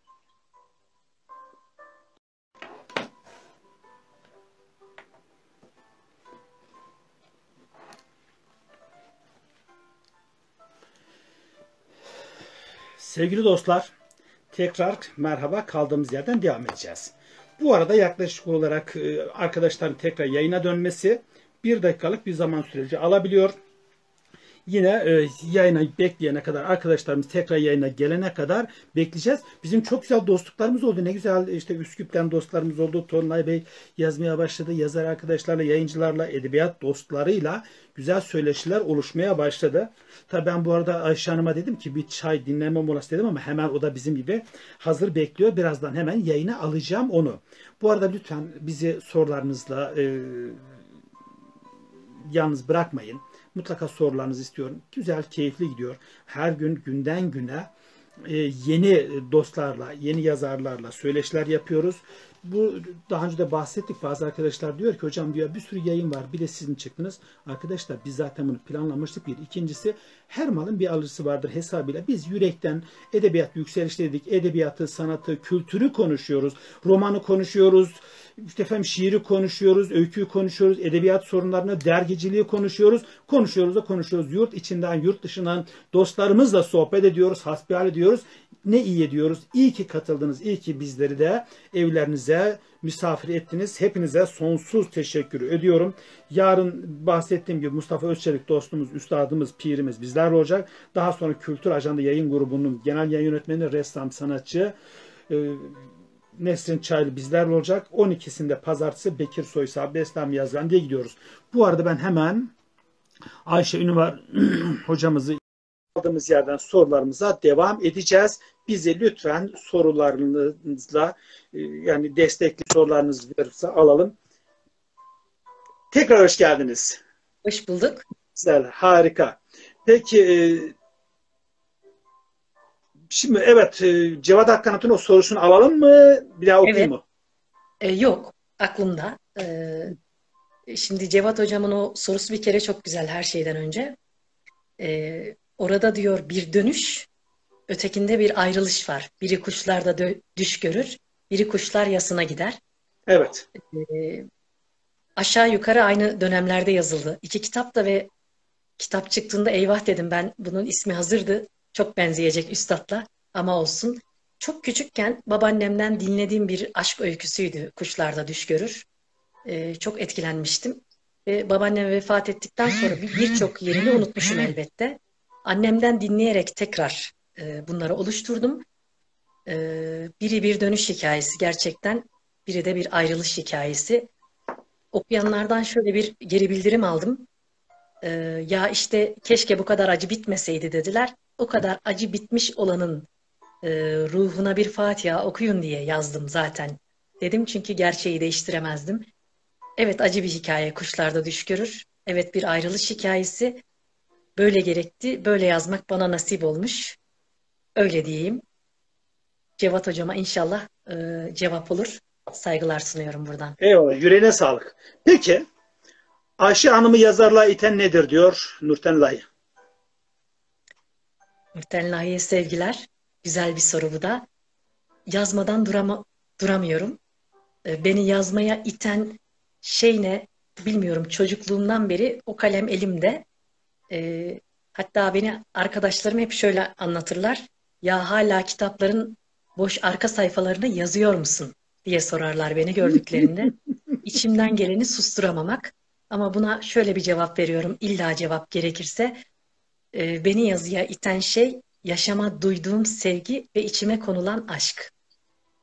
Aşkın daim ve kaim olsun inşallah. Amin. Hepimizin, Peki, hepimizin. aşk dedim de ya bunu sorayım mı sormayın bilmiyorum ki saatler sonra. Aşk nedir ki? Ee, bunu hep sorar. E, yetişkinler sorar. işte gençler, ergenlik dönemi sorar özellikle. Aşk günümüzde e, tanımlandığı gibi ayağa düşürülmüş, e, tanımı yapılan e, bir duygu değil bana göre. E, aşk yaratılıştan, galü beladan Tanrı'nın insan ruhuna üflemesiyle başlayan bir ışık kalbimizde. O öyle bir ışık ki aslında hepimizde var. Üstünü bazı dünyalıklarla kapatıyoruz. Ancak iteleyip çıkarırsak her şeye sevgiyle, saygıyla, hürmetle bakabiliyorsak aşk budur diye düşünüyorum. Uf, gayet güzel. Peki Fahri Tuna demiş ki onun e, öykü kahramanlar isimsizdir diye bir cümle geçmiş bir yerde. Yanlış mı hatırlıyorum? Öykü kahramanlarınız isimsiz midir? isimsizdir derken şundan bahsetmiş Üstad. E, ben de okudum o yazıyı benimle ilgili. Sağ olsun e, yüreğine sağlık çok da güzel değerlendirmiş. E, onun yani o e, hep bil, e, bilindik tipleri yazar. Onun öykü kara, e, kahramanları Ayşe'dir, Ali'dir, Fatma'dır değil. Genel anlamda Ayşe'dir, genel anlamda Ali'dir. Genel anlamda terzidir, öğretmendir. Yani Anadolu'nun çocuğudur diyor. Evet içinden çıktığım şeyleri e, yazıyorum. Genelde zaten yazmış olduğum öykü babında hikaye diyelim biz yine. E, o kelamların hepsi de içinden çıktığım bir takım şeyler. Dediniz. Peki şimdi soruları hızlı geçeceğiz. Sizden evet. bir öykü ya da roman bir parça istemiştik. Hazır mı? Tabii. Aslında birkaç tane hazırladım altı kitaptan ama e, sonra dedim ki bekleyiş üzerinde çok durduk. Madem bekleyişten olsun dedim. Hemen oradaki işareti aldım. Şimdi bekleyişimizde e, bir mektup var. Sadece o kısmı okuyacağım. İnşallah vaktimiz olur buna. E, başlıyorum. Dinle sevgili. Bereket düştü toprağa, çimene, çiçeğe, papatyaya ve de mor laleye. Bilir misin ben en çok mor laleyi severim. Nedenini bilmeden, kokusunu bilmeden, hem de hiç hissetmeden severim. İçine, derinlerine çeker mor renk beni. Şimdi mi? Şimdi en sevdiğim renk sıklemen rengi. Sen sen kokuyor sıklemen. Sen sen bakıyor belki. Geldin sanıyorum zaman zaman. Seni ilk gördüğümde tabiatın kokusu sıklemen rengine dönüyor. Bilir misin? Bilemezsin tabii. İnsan kendi kokusunu bilmez ki. Hatta aynaya baksa da kendisini kendi gibi görmez ki. Ben seni sende gördüm Nisan. Tüm gördüklerimi unuttum sonra. İçime duru bir su aktı. Dağlar yerinden oynadı. Denizler coştu, iklimler birbiriyle savaştı. Hızır o gün kalbimize geldi ve ben inandım ki o gün aşkın bereketine yazgılı sadece iki kalp vardı. Biri senin, diğeri benim. Sonra birleşti, bir oldu kalplerimiz. Ben sende kendimi görmeye başladım. İkilik kalktı aramızdan, yücelerden onaylandı, kutsandı aşk. Bir anda durdu zaman. Sesler sustu, tabiat bize kanat açtı. Sen, ben, ben sen olmuştum. O gün bugündür arar oldum seni. Ve ne vakit yaklaşsam sana, sıklemen renginin kokusunu duyar oldum. Söyle, bir gün beni duyacak mısın? Karşılaşacak mıyız tekrar seninle? Eğer dünyalık zamanda bir kez daha seni görmek kısmet olursa beni anla, kalbimdekileri duy diye iki kelam etmek istedim sadece. Biliyorum, aşığa kelam gerekmez. Aşık sükutu sever. Sükutu kendi dilinde yazar, okur ama ben bilmem ki senin gönlüne, sessizliğinde ben düştüm mü içten içe. İnanırım buna bilirsin. Şunu da bilirsin. Mağrursun sen, el değmemişsin bilirim. Yüreğime el değmedi benim de. İlkimsin, benliğimsin, benimsin. Nasıl olduğunu bilemeden, anlamazdan geliverenimsin. Sende bir güzellik yok diyemem. Ama senin güzelliğine değil, yüzünün manasına vuruldum ben. Sırrına ermek, seninle sırra boyanmaktır tüm niyetim. Diyerek devam ediyorum. E, vaktimiz varsa edeyim, yoksa sorulara devam edelim. Çünkü oldukça uzun. Biz sizinle böyle herhalde 3-5 gün kesintisiz bir program yapalım. ne güzel olur. Çok güzel dostlar da katılıyor bu arada. Ee, şimdi Ayşe Aslı Tufan selam ediyor. Ee, Sündüz e, Akça Kalbi selamlar. Çok çok selamlar. sevgiler. Ee, Süheyla Hanım diyor ki Hanını anlam genişlemesi önemli demek ki diyor. Ya bir şey daha söylemiş ve genel itibariyle mavi göz rengine sahip karakterlere yer vermesi de ilgi çekici diyor. Öyle mi? Evet. Süheyla Hanım da e, daha önceki ilk öykü kitabında, Cebimdeki Fesleğen adlı öykü kitabında e, onunla bir görüşmemizde aynı e, durumu dile getirmişti. O dönemin hikayelerinde demek ki hep mavi göz karşılaştığım insanlar. Onları dile getirmişim. Ama genellikle dediğim gibi hani e, gördüğüm gerçek olan hani gördüğüm bir karakterin göz rengini hani kendi kafamdan ben buna kahverengi bir göz koyayım gibi düşünmüyorum. Varlığı olduğu haliyle e, onun kişiliğine, kimliğime saygımdan sadece ismi değişiyor ama boyut aynı kalıyor. Demek ki mavi gözlülere rastlamışım. Olabilir belki ya da yani önemli olan diyor ya bir de sen onu benim gözümde gör diyor ya belki de kahverengi mavi gördünüz bilemeyiz. Şimdi evet. Fahri Bey demiş ki Ben en çok bunu gerçi ben sordum da en çok Ayşe Ünü var roman ve öykülerindeki şiirselliğe bayılıyorum. Şiir yazıyor mu acaba demiş. Tabi biliyor da ee, onu Sağ konuştuk. olun. Cevap Evet, biraz önce aslında böyle bir konuya cevap vermiştim ama yine üstada hemen e, o cevabı verelim. Şiir karalıyorum ama dediğim gibi şair değilim. Şairliğin kenarından asla geçemem. Haddim değil diye noktalıyorum. peki kadın yazar olmak Evet. avantaj mı dezavantaj mı normal mi? Bir kere insanlara kadın ya da erkek diye bakmıyorum ben. Evet bir e, cinsi boyutumuz var. Kadın, erkek. Ama e, genel açısından, davranış açısından işte erkek mi önde, kadın mı önde, Adem'de birleniyoruz biz diyorum. O sizin sorduğunuz anlamda kadın yazar olmanın avantajı var mı, dezavantajı var mı? E, bir kere ben arabasının lastiğini e, bile kadının kendisinin değiştirmesi gerektiğini düşünen e, bir bayan olarak e, kadınlık faktörünün yazarlığın önüne geçmesini doğru bulmuyorum. Erkeklik Harika. faktörünün faktörünün de yazarlığın tepesinde durmasını doğru bulmuyorum. Biz e, Türkiye'de toplumsal süreç olarak kendimizi kadın ya da erkekte değil de insanda, Adem'de birlediğimiz zaman bütün sorunu çözmüş olacağız. Ama sorunuzdaki şeyi de anladım çok da e, doğru aslında. Ön plana çıkan hani kadınlığı ön plana çıkan ya da erkekliği ön plana çıkan ya da kadın olduğundan dolayı okuma yazma, geri plana itilme, eğitim alma haklarının elinden alınması gibi sebeplerden dolayı sorunuz. Böyle şeyler yaşamadım çok şükür. Elhamdülillah. Ee, e, ve hiç kızlarımızın da yaşamasını istemem. Ama e, yani kadın kimliğim ne yazarlığımın önünde ne de arkasında tam bir Anadolu kadını olarak devam ediyorum Harika. hayatıma. Peki şimdi günümüz dergiciliği, edebiyat dergiciliğini onları soracaktım ama onu farklı bir zeminde sormak istiyorum. İnşallah. Sosyal medya hesabın şey, sosyal medya edebiyatını nasıl buluyorsunuz ya da edebiyatçılığını? Sosyal medya edebiyatçılığı bir kere e, onu acaba edebi alanda akademik e, eğitim alanlar ya da akademisyenlerimiz sosyal medya edebiyatçılığı üzerine ne der? Onu bir düşünmek lazım. Ama benim kendi öznel fikrim e, sosyal medyadan oldukça faydalanıyorum. E, bizim de kendimizi e, nasıl anlatayım ifade edebileceğimiz asla bir araya gelemeyeceğimiz bir sürü güzel insanla bir araya getiren bir mecra. Bu yönleri çok güzel. Kısacası aslında şu, nasıl kullanırsak öyle güzel ama orada akan edebiyatın da niyetinin önemli olduğunu düşünüyorum. Ee, popüler, e, boşaltılmış, içi boşaltılmış e, bir takım şeylerin anlamlı ve önemli olmadığını ve zamanla sönüp gideceğini düşünüyorum. Ama yine aynen kitaplardaki gibi sosyal medyada insanların çoğunu ruhsal boyutta kendine getirebiliyor. Dediğim gibi herkes kendinde ne varsa, gönül kapısı neye açıksa onu alır. Ben çok güzel e, insanlarla bir araya gelebiliyorum. İşte Yunus Emre enstitüleriyle yazışabiliyorum.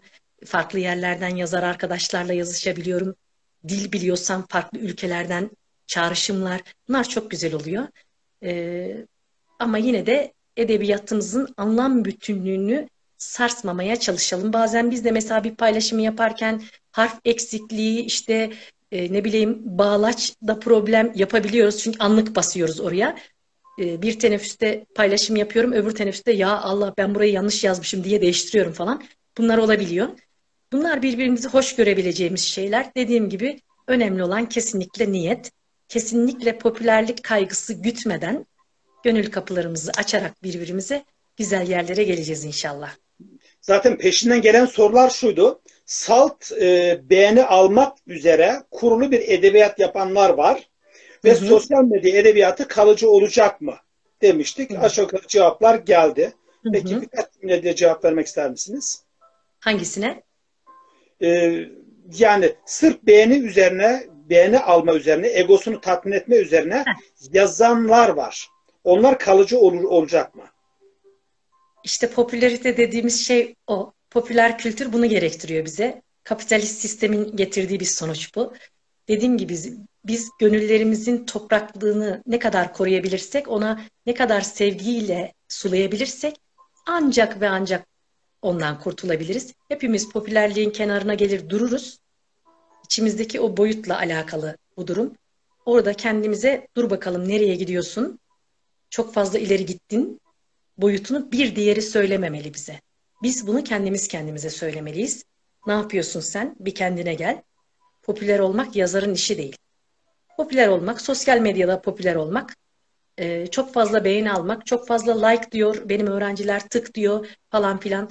Bunları aldığımız zaman ne olacak ki? Bugün buna tıklarız, öteki gün öbürüne tıklarız. Bugün bu hoşunuza gidiyor. Ama önemli olan kalbi kalıcılık. Kalbi kalıcılık. Mesela ben e, sosyal medya dostlarımdan hiç yüz yüze konuşmadan dua ettiğim olabiliyor.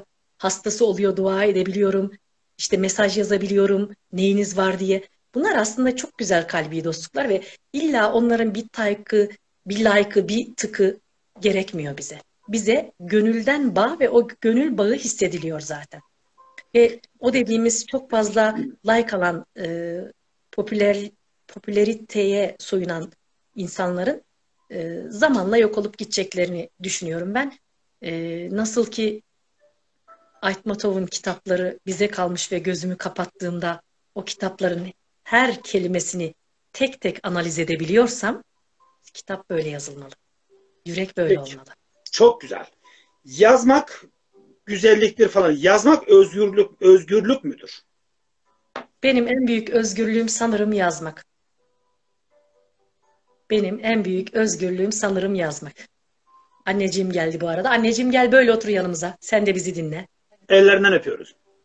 Ellerinizden öpüyor. Evet. Evet. Yazarlık günlük tutarak e, yazar e, yazarlık günlük tutarak elde etmek mümkün mü? Yazarlığı Yani- günlük tutarak elde etmek mümkün mü? Günlük tutmak psikolojik e, kaygılar temelinde de çok e, kişinin, bireyin işine yarayabilen, e, psikolojik çözüme ve rahatlama sağlayan bir şey ama e, şu açıdan bakıldığında hani günlükte yazdığımız şeylerin edebi kelamla sıvanması gerekmiyor mu? Eğer bunu yapabiliyorsa günlük elbette yararlı. Şu da olabilir. Geçmişte, çok geçmişte kalmış bir günlüğümüze o zamanla ilgili yazacağımız e, bir hikayeye dönüp hatırlayamadığımız bir yere bakabiliriz mesela. Ya da baktığımızda ben günlüklerime baktığımda üniversite döneminde falan aa ne kadar küçük şeylere kafayı takmışız falan derken aynı zamanda o dönemin işte siyasi, sosyal, ekonomik problemlerini de yazmışım. Bu aslında çok güzel tarihsel bir süreç. Faydası olur mu? Olabilir ama zamanla kişinin ona ihtiyacı olacağını zannetmiyorum. Peki geleneksel edebiyat türümüz var. Siz bunu savunuyorsunuz değil mi geleneksel edebiyatımızı? Savunuyorum. Bir de gelenekten kopartanlar var. Bunu nasıl değerlendiriyorsunuz? Yine aynı cevabı vereceğim. Mesela onun gönlü gelenekten kopmak istemiş. O yolda ilerliyor. Takipçileri var, beğenicileri var. Onlara hitap ediyor. Ötekinin gönlü gelenekten kopmak istememiş. Öbürüne devam ediyor. İşte onun okuyucuları var. O yüzden iki gruba da hoş görmek lazım ama gelenekten kopmamız mümkün değil. Harikasınız. Ne kadar İşte gelenekten kopar, kopacağız diye uğraşsak da çünkü bizi var eden şey gelenek zaten. Bizi var eden şey gelenek ve ondan kopmamız mümkün değil. Yani inançlar, değerler, gelenekler bunlar insanı var eden ana unsurlardır. Tabii ki. Peki yazmak isteyenlere tavsiyeleriniz neler? Yavaş yavaş sona doğru geleceğim, hızlandıracağım soruları. Tavsiye e, vermek haddim midir bilmiyorum ama şöyle diyeyim. E, yazmaya başlamak bir kere yazmak insanı güzelleştiriyor, özgürleştiriyor, mutlandırıyor, terapi ediyor. Ama illa ben güzel yazmak istiyorum. Yani yazdıklarımı ben de beğeneyim. Mesela ben kendimde ilk ölçüm kendimdir. Yazdığımı kendim beğenmeliyim herkesten önce. Evet. E, kendim okuyabilmeliyim. Bunun için de e, çok iyi araştırma gerekiyor. İçinde yaşamak gerekiyor. Üstten bakmamak topluma. İçinden bakmak. İçinde olduğumuz şeyi. Mesela hiç bilmediğim bir şeyi evet yazarım ama hayal ürünü olur. İçine gir. İlla o ortamda yaşamıyorsan gidersin, içinde yaşarsın e, ve düşünceni sağlamlaştırırsın. Ona göre kalemi eline alırsın. E, bir de doğayla çok iç içe olmak diyorum. Ağaçla, bitkiyle, çiçekle, toprakla, kara toprakla çok iç içe olmak diyorum. Bunu çok önemsiyorum. Elimiz ve ayağımız toprağa değmemeye başladığı zamandan beri e, bizim ülkemizde yani benim gözlemim, yaşım yetiyorsa e, çok fazla insanlı beşerde bozulmalar olduğu kaygısındayım. Ne kadar toprağa dönersek, ne kadar üretirsek kendimize lazım olan şeyi o kadar çok gönlümüzü anlarız. Toprağı anladık mı kendimizi de anlarız diye düşünüyorum. Peki ilham. Bazen tıkanıp kalmıyor. İlham çağrılabilir mi? Ee, şöyle çağırıyorum. Demin de demiştim ya gittiği zaman kalemim tıkandığı zaman hüznümü geri ver bana Allah'ım diyorum. İlhamımı bana geri ver hiç demiyorum. Diyorum ki benim kalemim damlamıyor. Demek ki ben bir şey yapmışım. Gönül almalıyım diyorum. Çiçeğin, böceğin, insanın, öğrencinin gönlünü alıyorum kendimce. Sonra bunu unutup gönül alma derdine düşmüşken bir gece geliveriyor kalemin ucuna ve yazmaya başlıyorum. Öyle oluyor. Gidiyor bazen. Peki yazarken duygulanıp böyle tıkandığınız ve yazamadığınız anlar oldu mu hiç? Oluyor. Oluyor. Tıkandığım anlar oluyor. İşte oraya ne kelime koyayım, ne cümle koyayım gibi değil de e, ben o boyuttan, o ruhsal boyuttan kendi istediğim gibi nasıl çıkayım diye direndiğim zamanlar oluyor. Bırakıyorum orada. O boyuta girinceye kadar duygum bekliyorum ve kalkıp tekrar yazıyorum. Bu üç gün sürüyor, beş gün sürüyor, on gün sürüyor. Gelinceye kadar orayı yazmıyorum. Çünkü eğer gelmeden orayı yazarsak kopukluk olabiliyor iki bölüm arasında ya da iki cümle arasında. Öyle. Peki. Şimdi siz eğitimcisiniz yazarsınız, felsefecisiniz, terapistsiniz. Bir sürü özelliğiniz var. Peki gen, ne güzel Rabbim böyle ilim vermiş, ilmini aktarmak nasip ediyor. İnşallah gönüllere daha çok, daha çok gönüllere dokunursunuz. Bunlara daha çok ihtiyacımız var. Peki gençlerin, yeni yetişen neslin, çünkü yazarlar aynı zamanda toplumun öğretmenleridir. Bak bireylerin değil toplumların öğretmenleridir ve farkında olmadan toplumları şekillendirirler. Bu dünyanın her yerinde bu böyledir. Peki siz gençlerin e, dil kazanmaları, üslup, kültür kazanmaları için neler tavsiye edersiniz? Ben bir bilgi sistematik kazanmasını istiyorum. Yani bilgi üslup kazanması için. Hı hı. Ee, bunu zaman zaman hepsine tavsiye ediyorum ama bize de tavsiye edilmişti gençken, öğrenciyken ne kadar dinledik bilinmez. Bunu onlara söylüyorum ben de. Diyorum ki bunu tavsiye olarak almayın. Yapacağınız şey şu. Mesela okuma saatinden bir örnek vereyim. Lise birlerle okuma saatindeyiz. Ben de kendi kitabımı okuyorum. Ben önümde ne kitap varsa onu okuyorum. Onlar da istedikleri kitapları okuyorlar. Ee, her okurken diyorum ki sorunuz olursa yavaşça yanıma gelin. Üzerinde göstererek sorun diyorum. Saati bozmamak için e, gelen sorular hep aynı. Şu kelime ne demek öğretmenim? Öğretmenim şu kelimenin anlamını biliyor musunuz? Bazen inanır mısınız bilmediğim kelimeler çıkıyor o eski Türk romanlarından. E, eski klasik romanlarımızdan. Ve diyorum ki bekleyin teneffüste Google'dan girip bakacağım. Ben de sizinle beraber öğrenmiş olacağım bunu diyorum. E, bunun güzel tarafı şu. Ben de öğreniyorum. Onlar da öğreniyor. Ama e, orada bir eksikliği fark ediyorum. Kelime haznemiz gittikçe daralıyor. Gençler diyorum. Bunun sebebi şu. Benim gibi siz de her şeye Google'dan bakıyorsunuz. Bunun sebebi bu. Bir kere e, o gün Mehmet Doğan e, üstadın da e, sohbetini dinledim. Bir kere sözlük çok önemli. Sözlüğü değerlendirmeliyiz. Sözlüğe bakmalıyız. Kitap okurken yanımızda sözlük olmalı. Ben de dahil bunu öğrencilere tavsiye etmeme rağmen her yerde sözlük taşınmayacağı için mutlaka telefonu çıkarıp Google'dan bakabiliyorum. Kötü bir şey değil ama sözlük kullanma alışkanlığını geliştirmeliyiz. Bunu söylüyorum. Zamanı düzenli kullanma özellikle bu salgın döneminde zamanı düzenli kullanma e, gayreti becerisini geliştirmelerini istiyorum. E, kendi kitaplıkları olsun istiyorum. Küçücük bir kutu odalarında. Evin kitaplığı değil. Kendi odalarında küçücük bir kitaplıkları olsun istiyorum. Ondan sonra Başka aklıma gelen bunlar şimdilik. E, ve gençlerin dediğim gibi doğadan ve topraktan asla kopmamaları gerektiğini hissediyorum ve onlara bu öneride bulunuyorum. Peki gayet güzel. Şimdi peşinden gelecek soru şuydu. Ee, Buyurun. aslında kız cevapladınız onu. Genellikle bir okuma kültürü, okuma disiplini kazanması için. Ben buna okuma terbiyesi diyorum. Evet, okuma çok güzel. disiplini, okuma kültürü ya da okuma terbiyesi kazanmak için belli bir yol tavsiye eder misiniz yoksa biraz önceki açıklamalar yeterli mi? Aslında e, o okuma terbiyesi dediniz. Ben hep diyorum kalem terbiyesi, gönül terbiyesi önemli bunlar. E, mesela bazen e, bu kitap okuma saatlerinde hiç görmediğim, rastlamadığım bir kitabı lise bir öğrencisinin elinde görebiliyorum. Sonra diyorum ki tatlım o kitap bittikten sonra sana aitse bana getirebilir misin? Ben de okuyabilir miyim? Sonra soruyorum. Niçin bu kitabı okuyorsun? Diyor ki babam önerdi, annem önerdi, amcam önerdi. Önerilere bakabilir miyim diyorum. Bir kitap listesi hazırlanmış. O zaman biz gençleri geliştirebilmek için evet liste hazırlamalıyız ama onu dikte etmeden. Yani sen bunu okumalısın demeden. Çünkü her çocuğun gelişimi farklı, yeteneği farklı, ölçüsü, duygusal zekası farklı.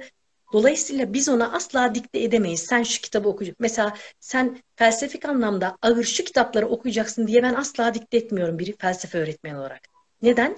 Çocuğun belki edebi alanda farklı bir zenginliği var. Belki fen alanında farklı bir zenginliği var. O yüzden e, şöyle yapmaya çalışıyorum ben e, kitap okuma listesi ayarlarken. Çocuğun nasıl okuduğuna bakıyorum önce. Hiç kitap okur mu? Kaç kitap okudu bugüne kadar? İşte ayda kaç okur? Yılda kaç okur? Ona göre ve bugüne kadar okuduğu kitapları deşeleyerek diyorum ki e, senin okuma listen şunlar olabilir ama sen bunlara ek yapabilirsin ya da çıkarabilirsin diyorum. Genellikle de e, kitap listesi hazırlarken e, biz hep dünya klasiklerini yazarız yani. Evet yazıyorum. Ama Türk klasiklerini asla geçmeden, Matmazel İşte o. Noralya'nın koltuğunu geçmeden, çok geç okumuş, çok geç edindiğim eserlerden biridir. Evet. Bunu okuyun diyorum mesela. Neden? Belki onlara şu an anlamsız gelecek ama ileride o duygusal boyutun e, tabanının onların zihnine oturacağına inanıyorum. Çok güzel yani ne güzel sohbet. İyi ki varsınız. Ee, Sohbeti yönlendiriyorsunuz. Biz teşekkür ederiz. Yok, o güzel gerçekten. Bu arada hoşuma gitti. Valideniz orada herhalde. Yarın da anneler gününde kutluyoruz. Ayrı bir güzellik o. Sizin gibi güzel Sağ bir evlat yetiştirmiş de güzel ona. Sizler Peki. de. Şimdi şöyle yapacağız Ayşe Hanım. Sizden bir e, kısım daha istiyorum. Öykü olabilir, romandan bir bölüm olabilir ama oraya gelmeden önce son sözlerinizi alacağım. Son sözlerden sonra ben kapanışı yapacağım. Sonra sizden öykünüz ya da bölümü alacağım ve sözlerle son noktaya koyup kapatacağız. Uygun mudur? Son sözleriniz ne olur? Son sözlerimiz e, insanca yaşamak, insanca yazmak, insanca sevmek nasip olsun hepimize. Hayırlı Ramazanlar diliyorum. Peki teşekkür ediyorum. Siz o zaman yazınızı hazırlarken ben kapanışı yapayım. Sonra sizden öykünüzü ya da yazı alacağız. Şimdi sevgili dostlar çok güzel, keyifli geçiyor. İyi ki böyle güzel dostlarımız var. İyi ki edebiyat var, iyi ki sanat var. Zaten yazarlar toplumların öğretmenleridir. Böyle öğretmenlerimiz olduğu müddetçe Allah'ın izniyle sırtımız yere gelmez. Ben ümit varım. Kesinlikle ümit varım. Güzel düşünüyorum, güzel bakıyorum. Ne diyor Peygamber Efendimiz? Güzel düşünen güzel yaşar diyor. Biz güzel düşünelim, güzel yaşayalım diyoruz gerçekten. Şimdi yarın e, Mustafa Özçelik şair, yazar, deneme yazarı, e, gerçekten üstadımız Mustafa Özçelik bizimle olacak. E, Sonra pazartesi günü Nesrin Çaylı, Bekir Soysal devam edeceğiz.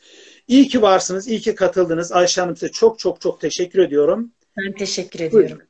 Buyurun Allah'a emanet olun. Allah Şimdi sevgili e, annelerimizin anneler gününü kutluyorum buradan. Hepsinin ellerini hürmet ve sevgiyle öpüyorum ve bunu e, bu e, hikayemizi bütün annelere hitap ediyorum. Uyandım. Uyandım. Kuşlar uçuyordu kelimelerin üzerinden. Uyandım. Uyandığımla kaldım. Su gibi akıp giden zamanı yakalayamayan bendim. İçime kapandım. İçim bana kapandı. Uzak diyarlardan duyduğum bir ses yeniden girdi rüyama. Yeniden insan oldum. Hatırladım geçmişi. Uçan, uçup giden ve uçamayan kuşları. Yitip gittiğimi, yitirdiğimi, yitirildiğimi. Yitirip gittiğimizi ve öylece kala kalacakken o ses var ya, tarihin bağrından gelen, sadece yorulan insanların duyabileceği o ses beni kendime getirdi. Kalktım, pencereyi açtım. Uzakta dağların doruğunda beyaz bir sis vardı ve hava oldukça yumuşaktı. Bir de çiseleyip duran yağmur. Uçuşup duran yapraklara baktım. Yapraklar da benim duyduğum sesi duyuyor muydu? Yapraklar da yorulup hayata küsüyorlar mıydı? Üç kuş uçup gitti o vakit. Tülden kanatlarının gölgesi düşerken yüzüme dokunmak istedim, dokunamadım. Elime değecekti belki. Elime değecekti belki hayalleri. Beni duymuşçasına süratle geri döndüler. Başımın üzerinde üç tur atıp dantel dantel kanatlarını yere serdiler. Bakıştık. Uzak değil, yakın da değillerdi. Özlediğim ılık bir şey aktı içime. Ruhu ruhuma değiyordu kuşların.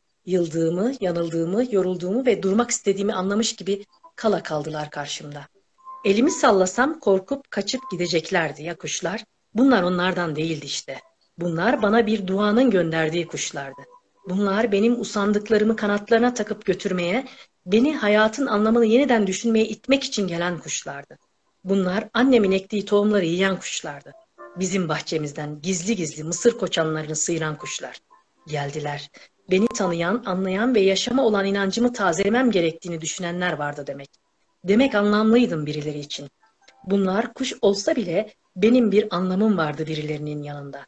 Öyleyse uzak dağların tepesine tünemiş o beyaz siste beni düşündüğü için kalkıp gitmiyor, iyileşmem için eski yağmurları çağırıyordu. Gitmedi kuşlar. Tek damla yağmur düşünceye kadar öylece yatıp durdular yumuşak toprak üzerinde. Sonra annemin sesi çalındı kulaklarıma. Kalk onlar senin otuz kuşun. Çünkü yanlarında dururken kendini sıfır kabul ediyorsun. Kalk.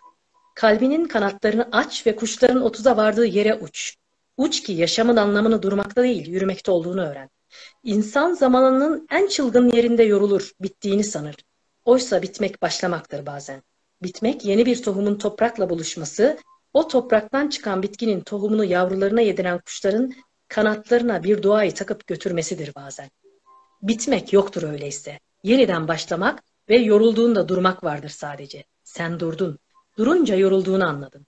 Oysa seni güden ruhlar vardı. Önceleri, tarihten beri rızkını paylaştığın ruhlar. İşte onlar seni hiç unutmadılar. Güttüler seni. Yorulduğunda ses olup kaldırdılar. Sis olup yağmuru çağırdılar. İnsan yorulur çünkü. Ve sadece başka bir insan kaldırabilir sanır onu ama yanılır. İnsandan insana fayda beklemek hep yanılgı getirmiştir. Dilsiz ağızsızın ruhu bir ana duasını kapar en uzağa götürür. Yeter ki verilende onların da hakkı olduğu unutulmasın. İnsana insan olduğunu insan olmayan hatırlatır durur böylece. Nasibi olan hatırlar, nasipsizse bunu zandan ibaret sayar. Saysın varsın. Zan kişiye hatıralarını unutturur. Unutma, daim hatırla. İnsan doğdun sen. Hatırladım. İnsandım ben. İnsan yorulurdu, hayata küserdi. Hayat ona küserdi, küsüşürlerdi nitekim. İlkbaharı, yazı, kışı ve sonbaharı olurdu insanın. Tıpkı yapraklar gibi, tıpkı kuşlar gibi, o üç kuş gibi, tıpkı yaşam gibi. Kollarımı havaya kaldırdım, sisli dağlara doğru bağırdım. Sonra uyandım. Uyandım sonra ve hatırladım. İnsandım ben. Yoruldum. Bir ses duydum ve yeniden hatırladım. Bu ses tarihte hakikat çabası güden insanların yorulup da tekrar ayağa kalktıklarında çıkardıkları sesti. Duydum, anladım, inandım. Yaşamak çok güzeldi. Yorulsan da yorulmasan. Yorulmayanlarsa bu sesi hiç duymadan bu dünyadan göçüp gidenlerdi anladım. Anladığım vakitlerden bir vakitti. O üç kuşu yeniden gördüm. Sisin kaybolduğu dağlara doğru uçuyorlardı. Ve ben insan olduğumu, insan olmayandan anladım. İnsan kalabalığının neye mal olduğunu da. Hayırlı akşamlar. Yüreğine sağlık, ömrüne bereket. Çok teşekkür ediyorum. Ben Hayırlı teşekkür akşamlar efendim. Muhabbetle kalın. Her, bütün dostlara selamınız. Herkesin sevgisi var. Sevgiler. Çok teşekkür ederiz. Teşekkür ediyorum. Allah emanet olun. Sağ olun. Çok teşekkür ederim.